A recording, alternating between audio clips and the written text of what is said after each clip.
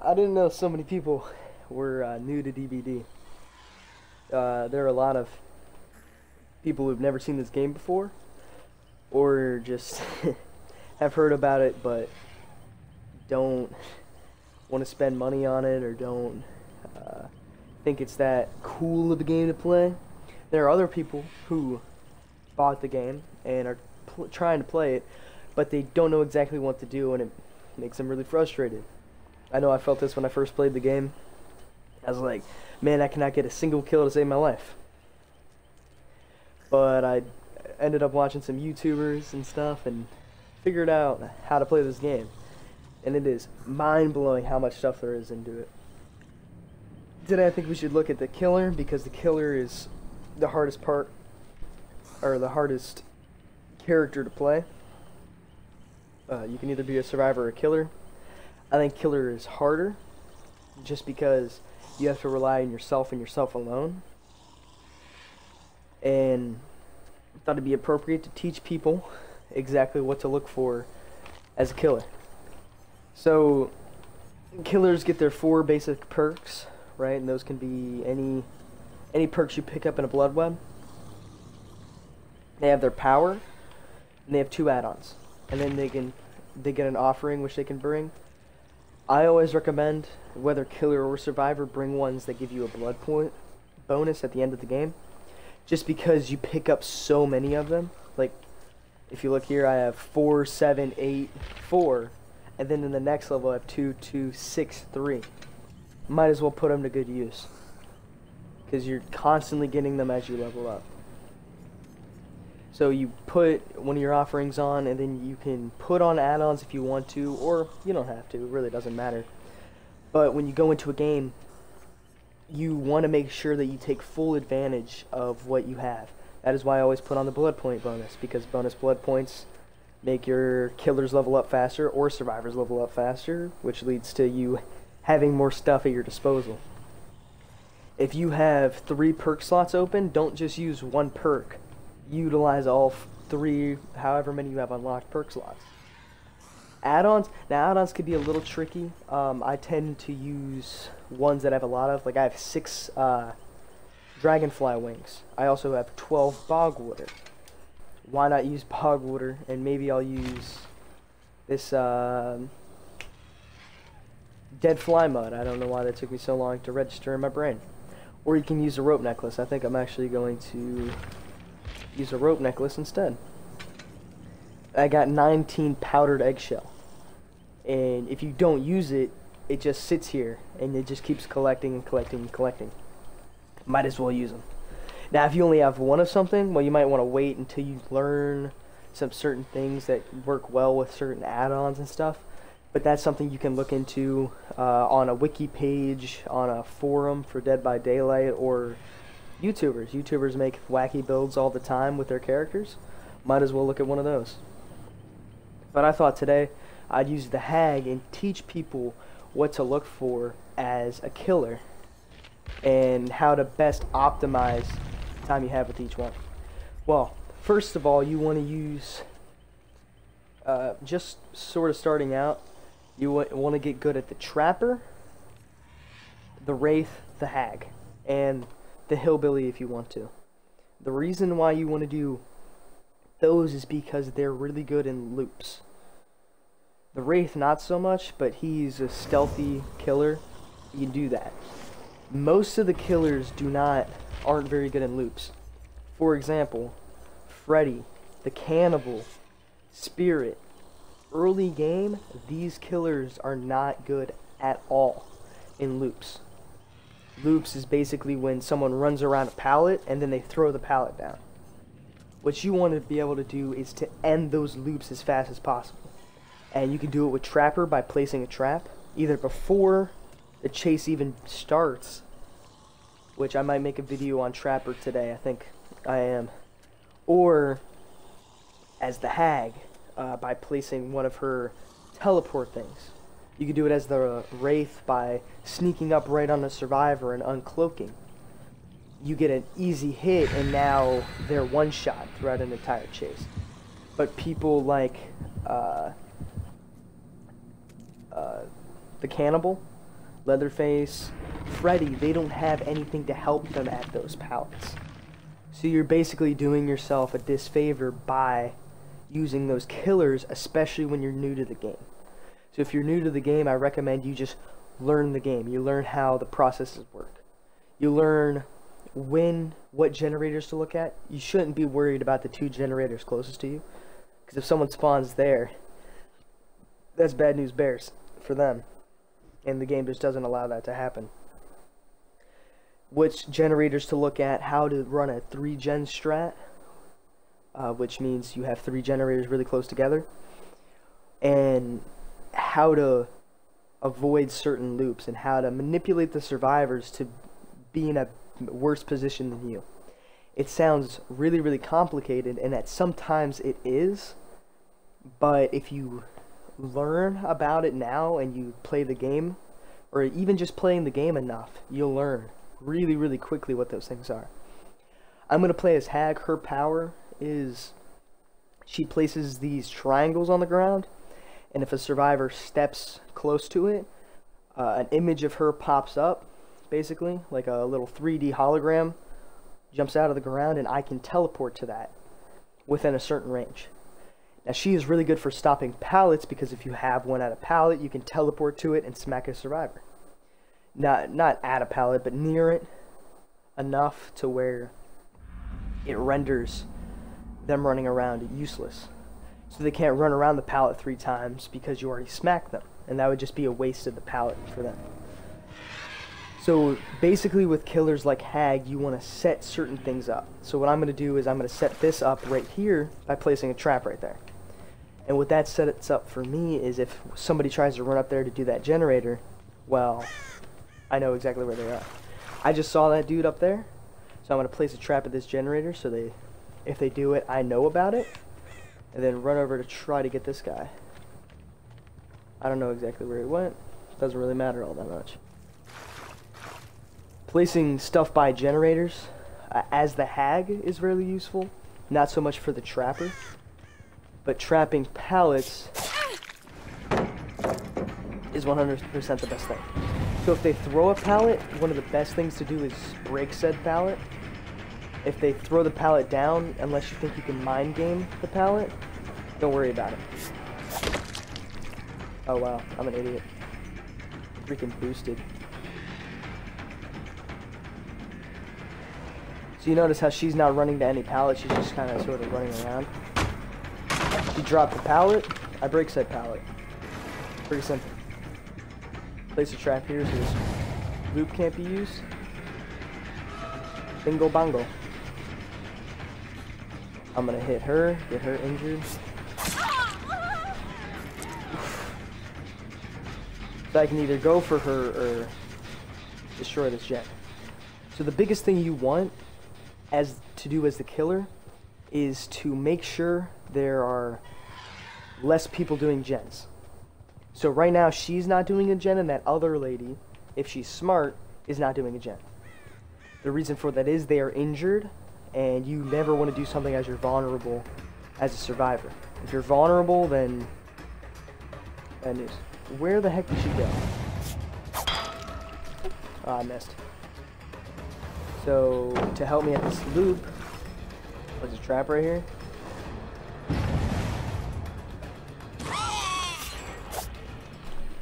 Wow, that was a good dead hard. So this is a pretty good survivor, but this is basically what you'll see. Now, I'm not the best killer in the world. I never claimed to be, but I know how the game is played and how it should be. So right now I have one hook. There are three generators left. I'm in a pretty bad spot. As the hag, it is perfectly acceptable to trap right here. Hey, I see you. I figured she'd take that window.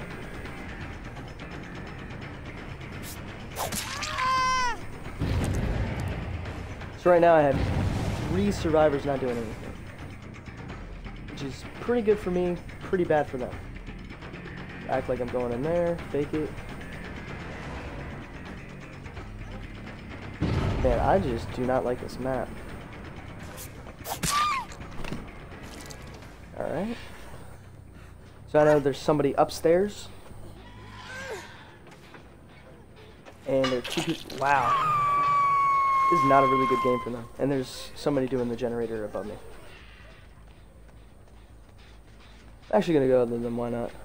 There, you can break these. Walls, man.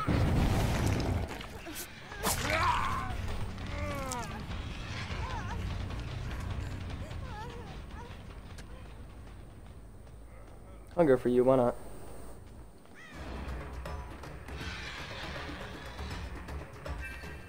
Oh, hello. Alright, so what I've created right here is really good gen pressure.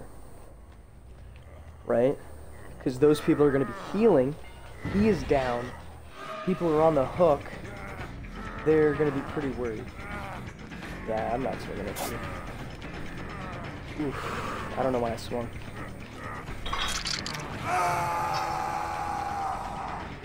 So what I have right now is really, really good gen pressure. Two injured people. Uh, I know you gotta get hurt. That dude trying to do this gen. It's just what I've created here is a really bad situation for the survivors. So this dude's pretty pretty done on hook. Ah, there's my trap everybody's been hooked at least once. So what I'm setting up here is actually really nasty for the survivors.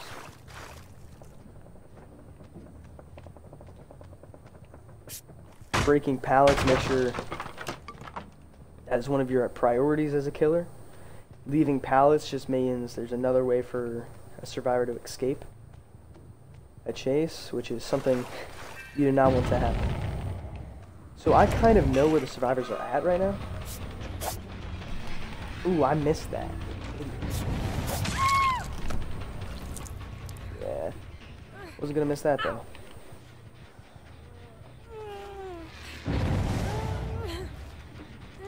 So I know there's somebody over here. This guy almost dead. I know there's a dude above me. Okay, because I can hear him. There's a guy working on that generator right there guy over here. Did he finish that? Really? Ah, whatever. I didn't know that gen was on stun, or else I would have pushed it harder. Yeah, that ain't gonna pan out too well.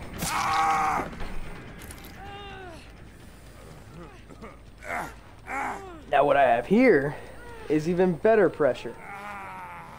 So I have two survivors down. Or two survivors not doing gens. Three survivors not doing gens. They're all really vulnerable. Let's see you up there.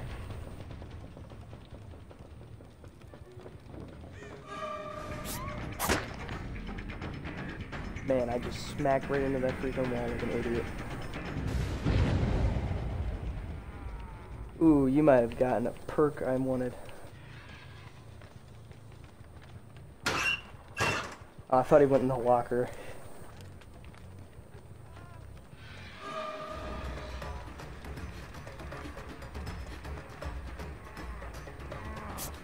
Oh, well. If I could, I'd more of you.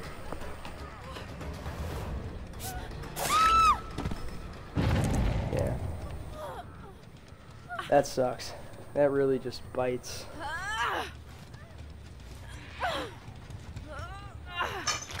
Alright, so what I have now, gen pressure. I know that dude's healing right there. One dude's dead. So now there are three people needing to only do one gen.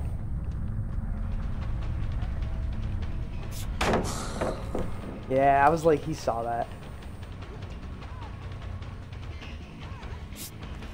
Yeah, I might as well break it. Leaving that pallet just would be... There you go. Oh, wow, thanks. For uh, telling me that.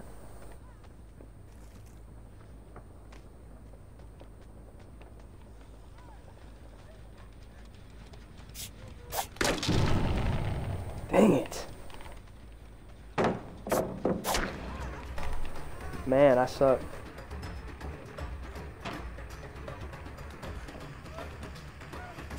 But, uh, not swinging at everything. Holy crap, that was literally my next thing I was going to talk about. Yeah, don't swing at everything, because you will miss, especially at longer range. I could have ended that chase, I don't know, 10 seconds earlier, which 10 seconds doesn't sound like a lot, but in this game it is. It's huge. 10 seconds can win you a match, or lose you a match.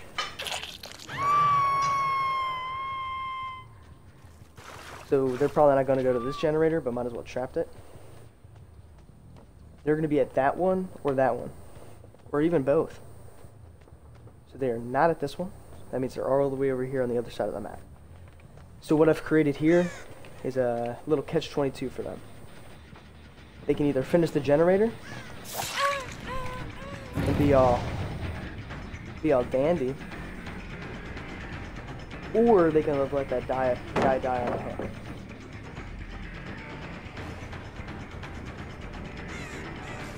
He thinks I'm stupid, which I'm not. He thought I was going to teleport there. I think he used his dead hard. Dead hard for me, thank you. Ooh, see, don't swing at everything. That's exactly right.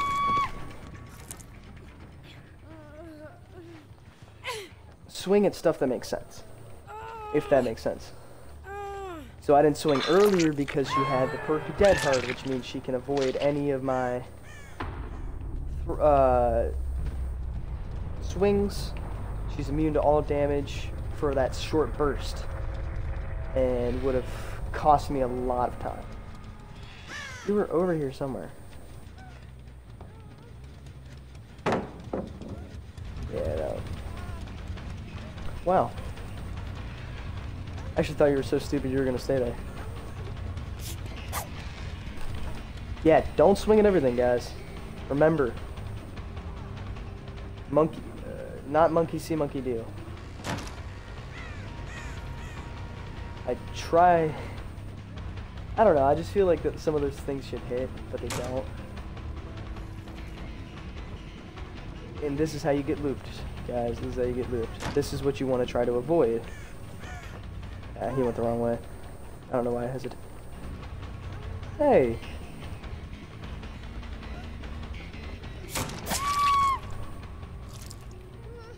Man. So that was a that was a case of Lot not following in his own device. And I hate that I'm doing that on the one episode that I'm trying to give advice for people. But basically what you want to do is try to avoid people who can loop you like that. Because that loop is pretty much impossible. Impossible to stop.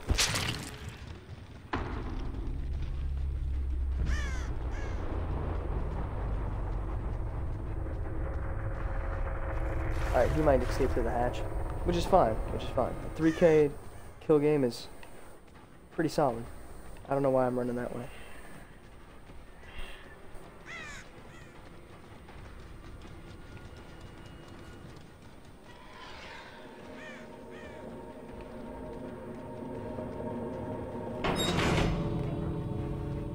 Closed the hatch.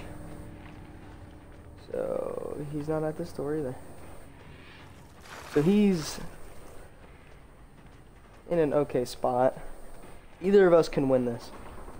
Uh, he can either open the door and escape because he's at full HP. Or I can kill him. Here.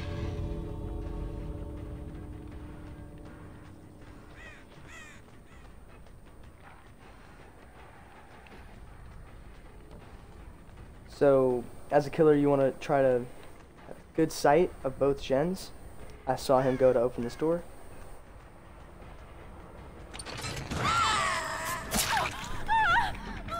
Yeah, that probably hurt. And she sounded like she liked it when I hit her. Dang. but patrolling both gens of G, it's a lot of people should do. Not gens, exit gates, sorry. Misspoke. Happens to the best and worst of us. Happens to all of us. All of us equally. No one is more subject, depending on your best or worstness. Basically, I played an almost flawless game. Uh, besides the fact that I missed a bunch of uh, hits, and I let them do a lot of generators. But besides that fact, uh, good gen pressure, I was able to create pressure when there seemingly was none. They got those gens done super quickly, but as you can see there, I came back and I won the game hands down. You know, uh, obviously it didn't just come down to luck; it came down to pressure. I was able to get those survivors down, right, and only have one person working on a gen at a time. If one person is working on a gen, guess what? Those other three people are doing nothing to help them progress through the game. So while those other three people are not doing anything, that one dude's doing the generator, the, the generator speed is cut in a fourth. Well, technically, uh, not a fourth, three fourths. But if you want to get even more technical, it's cut into. Whoa, excuse me. It's cut into two thirds because as a killer, you should always be chasing at least one survivor. So if you hook a survivor and you want to go and chase, chase one survivor. Don't try to double fist. If you smack a survivor and you see another one, you can go for that other survivor. Because that survivor is going to want to heal, which takes time off of them doing generators. Your entire goal is to make sure no one's doing the generators. If everyone's doing the generators, well then, bad luck for you. It's going to suck. But if no one's doing generators, then that's good news for you because it buys you more time. If I wouldn't have gotten those three people who uh, who were off those generators, I 100% would have lost that, and two or three people would have escaped.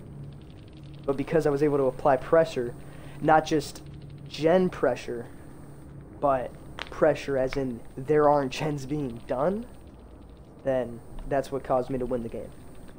So it makes a lot of sense to me. Your entire goal is to try to make sure nobody's doing gens and you're getting hooks. So it normally goes you get one hook and then a generator pops. Right? Then you're on good track and then you want to get two more hooks, then the next one pops, and then the rest of the game is pretty much yours. If that's the track you can do. I obviously was not on that track. But what I was able to do is get enough pressure that it didn't matter. It bought me so much time that I ended up winning the game. Uh, some advice you should follow: don't swing at everything. Uh, that's I did that a lot in the game because normally I thought I would hit those because I played the game a lot. I know what should hit and what shouldn't. I thought that that would hit. They didn't because I suck. But if you don't know how far a lunge is or anything else, don't try to swing at it don't if when a pallet's down, right? So your your pallet's down right here. I'm going to show it with my mouse cursor. If a pallet's down, looking at it, try to loop it and loop it and loop it. The best thing you can do is just break the pallet and try to move on with the chase. You are faster than a survivor. The survivor will eventually either lose the chase or you'll lose the survivor. One of those two things will happen and that's why I recommend you use Trapper because you can just trap the pallet. If the pallet's trapped, that entire loop is completely useless to the survivor. If I have a Phantasm trap, I used it once in the game, and then that goes off, that scares survivors to not do it. Just make sure you're not lunging for things that you might not hit, right? I'm a complete hypocrite when it comes to this, but I highly recommend because one of the people got a whole chase out of it just because I swung too early. They were able to use their Balanced Landing and go up top. It added 20, 30 seconds to that chase, which is terrible. You want to make sure you want to try to get a hit in a chase 15, 20 seconds, hit then 30 seconds and then a hit. That is an optimal chase. That is like, okay, you can win the game if every chase is like that, or most chases are like that. You shouldn't try to go for one survivor the entire game because if you go for one survivor, there's no pressure on the gens. Three people are doing a gen, and three gens get popped. And then what happens when three gens get popped? Oh, crap. Now I have one person who's on the hook. We don't know if he's dead or not. And now I, it's two when I only have one hook. And you have absolutely no pressure there at all. You basically threw the match, just tunneling one survivor. So what you're going to want to do is limit loops, make sure that they can't loop a billion times, and those are best done with Trapper and Hag. Uh, out of the free ones, of course, there are other, uh, like Clown, Pig can do it pretty well, Demogorgon, Plague, but as of what you have available to you, especially when you're, if you're watching this video, you're probably only going to have these people limit the loops, make chases shorter, and apply pressure. That's basically what I wanted out of this. This is going to be a pretty long video, and I'm going to hopefully I can get that Trapper video out to y'all. But yeah, y'all know my outro throughout this whole coronavirus thing. Stay home, stay safe, stay healthy. I hope this all made sense to y'all. And if you have any questions, be sure to comment. And be looking out for that Trapper one, and I'll show you exactly how to use the Trapper. I'm pretty tired, so yeah, if that, if I sound dead inside or I can't think, which I normally can't, bear with me. Uh, if you're still watching, good on y'all. Alright, thank you. Have a good night.